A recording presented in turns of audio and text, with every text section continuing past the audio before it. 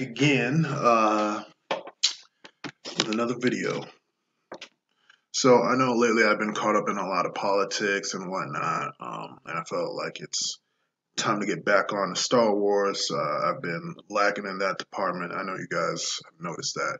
My bad. All right.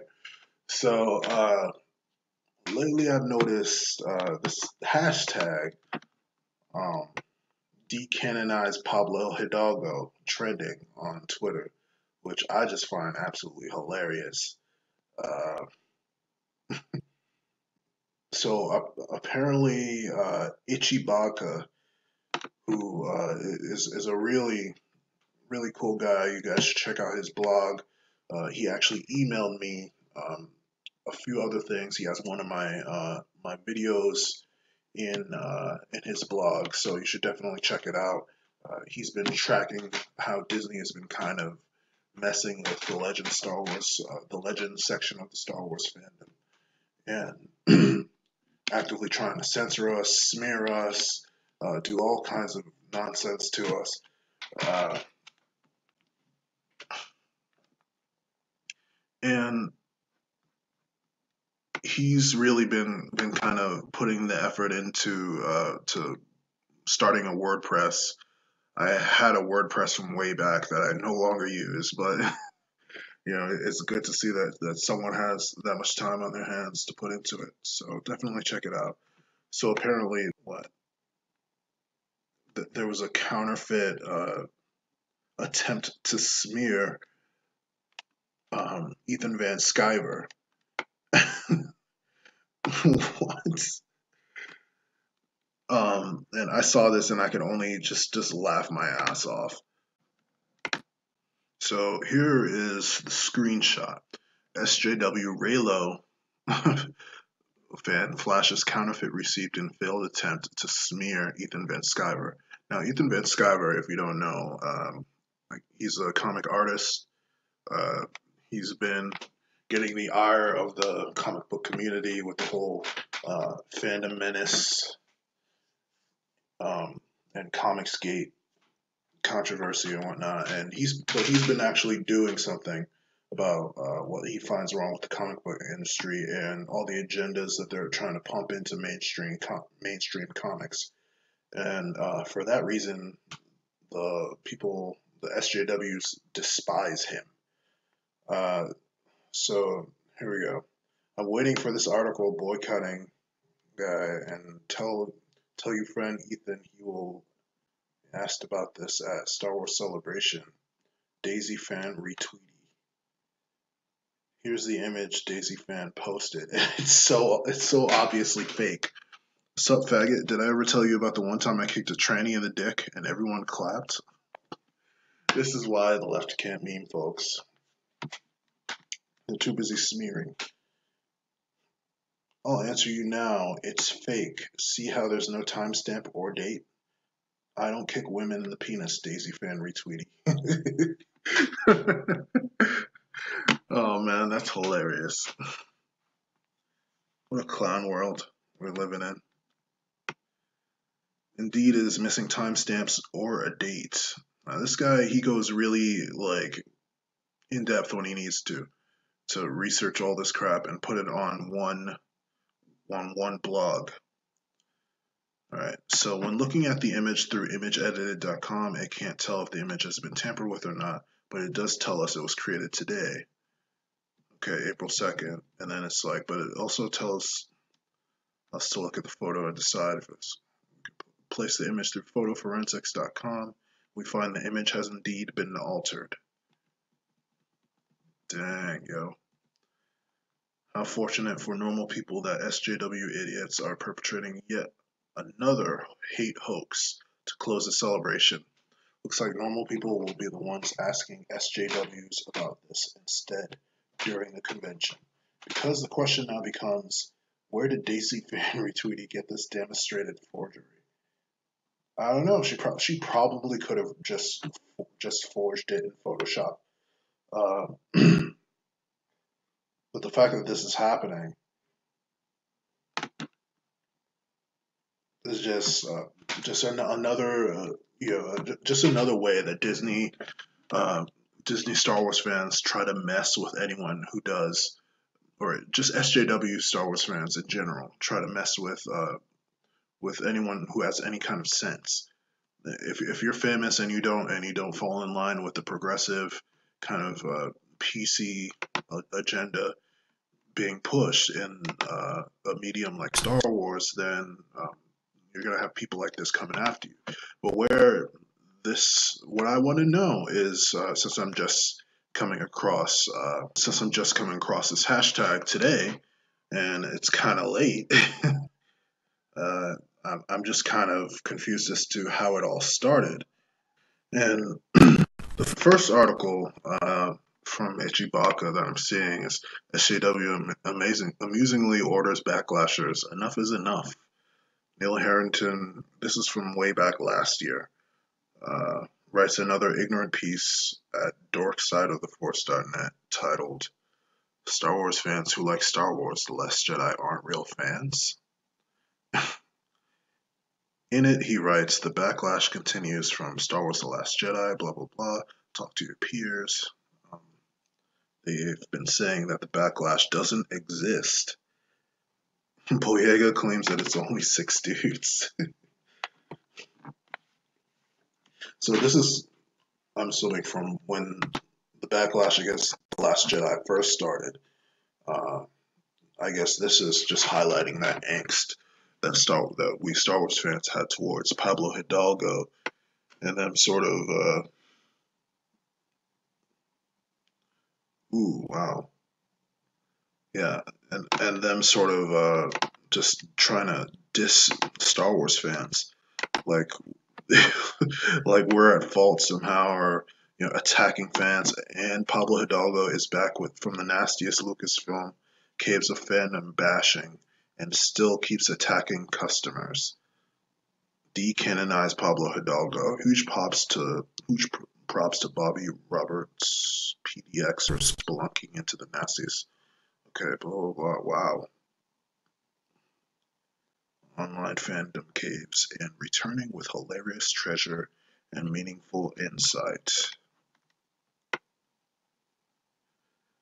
Yeah, then you wonder why people don't like this guy. I mean, I think this is just uh, this hashtag. I noticed that it was suddenly trending. I was trying. I was typing something else.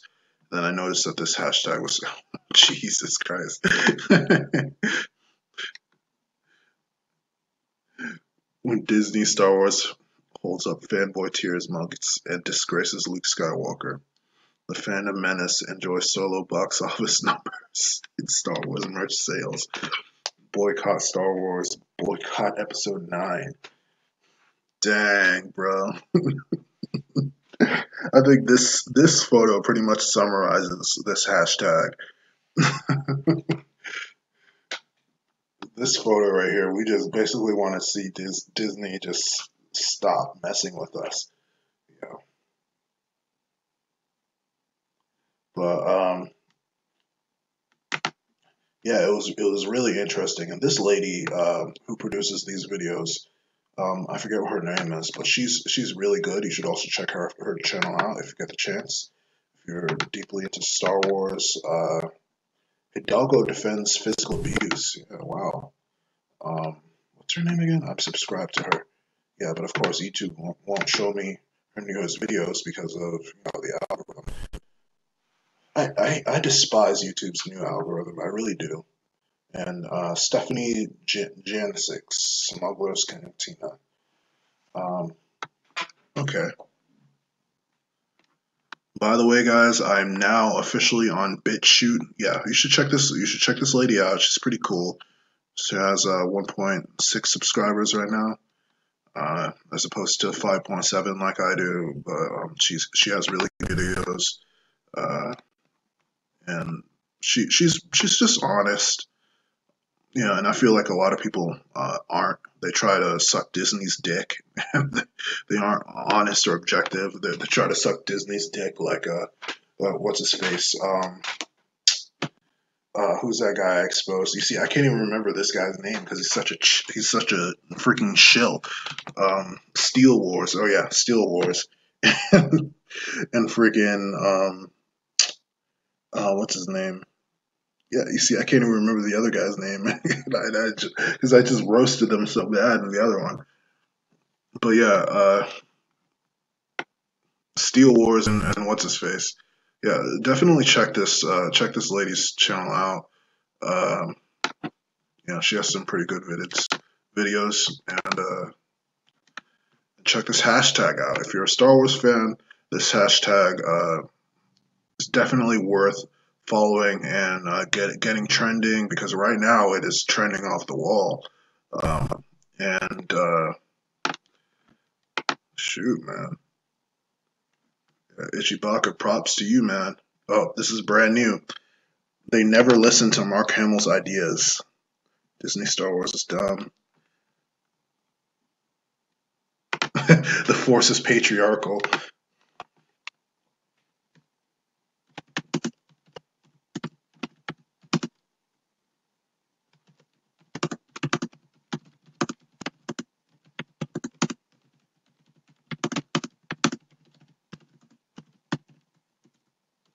But yeah, it's it's ridiculous. It gets so annoying when you have to deal with uh, a political agenda slowly infiltrating into your fandom, and that's what they've been doing with uh, I think all over all over the board. Uh, they've been trying to j- just push this SJW nonsense where it doesn't belong, and the fandom has has to step back and be like, "Whoa, okay, like, no, you can't do that. like, we're, we're not going to let you do that. Uh, this happened with uh, it, it's a straight up attack. It's a co- I, I guarantee you that it's a coordinated effort to uh, attack all forms of escapism um, and all forms of idealism. Uh, the most popular forms, at least, that people congregate around, uh, because they they want us to be divided. They don't want a thing that unites us uh, beyond our skin color or beyond our uh, they, don't they don't want any kind of transcendent unifying force, whether it's video games, religion, uh, just just any kind of unifying factor, fandom, uh, whether you're united by by by uh, your your common interests or whatever. They they want to destroy that, and who I mean by they, I mean SJWs. They want to infiltrate everything. Uh, patriotism, they don't want you to have that because that's you that that unites people can't have class warfare. You can't have have this guy against that guy. Oh, there has to be some kind of angle they can use to say that uh, there's a class struggle or that uh, you know there, there's this person is treated being treated unfairly, giving them a means to slowly sneak in, infiltrate, and uh, destroy the fandom that you like. And that's what happened with Gamergate. They try to portray us as, uh, oh, gamers are, are, I guess, sexist, racist, homophobes because we exposed some girl for uh,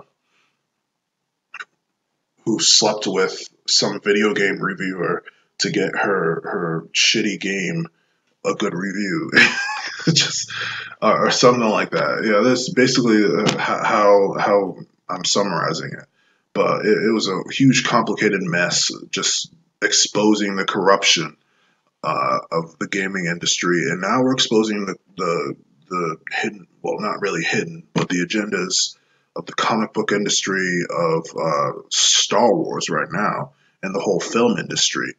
And uh, it, it's it's about to blow up, man. it really is. So uh, strap in your seatbelts, ladies and gentlemen. Uh, check out this hashtag, uh, decanonize Pablo Hidalgo. He should be decanonized because of what he did to uh, the Star Wars expanded universe. Uh, the way he treated, ex- he and uh, the entire Star Wars team have been treating Legends fans ever since. Um, all we have right now is freaking SWTOR, and that's it. And the new Star Wars game, I'm not sure if you've seen it, um, the, the Fallen Order or whatever that is. I'm not even sure if that's going to be in the Legends timeline because once they bought Star Wars, they, they were just like, oh, well, nothing else is going to be in that timeline except SWTOR and like a few other things, but that's it. And that sucks. That really freaking sucks because it's just like people who have been following Star Wars for like 30 years, uh, they, they have nothing else except this one video game left, you know, and, and they have all these old books. That That's it. You know, and it's like that they don't matter anymore. So basically, we're we're homeless in terms of uh, our fandom, in, ter- in terms of our fandom. So uh, yeah, if you're a Star Wars fan in general, or if you're just a Legends fan, if you just want to say screw Disney and, uh, and what they're doing with Star Wars, uh, then go ahead. I mean, honestly, when I was a kid, I thought Disney was uh, was was pretty good when it came to like movies and stuff like that. But but lately, they've just been, you know, they're just you know pure evil. That's how I look at them. Yeah, and it it sucks. I mean, because all they know how to do is just buy franchises uh, that they have no no business buying. They have no idea how how to run it, and I feel like they're just too big for their own good now. And uh, eventually, uh, eventually they're they're just gonna run out of things to buy, I guess. I mean, they're they're like a they're they're like a leech, you know, and um, I I don't know how else to describe them. Uh, once once you're out of blood, and then it's like on to the next thing to like consume or whatever. It's it's freaking creepy, dude. Actually, uh, to think that we're giving an organization like that that much power. And um, Lucas, I uh, you know I pity him, but at the same time, I'm also kind of upset that he, just quit and uh, and didn't want to, to fight anymore. But you guys already know that. Anyway, it's your boy, Kos. Uh, tell me what you think in the comments. Uh, peace out.